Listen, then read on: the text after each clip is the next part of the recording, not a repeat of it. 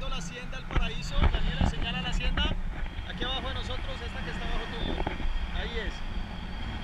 Ahí es la hacienda. Mírala allá abajo.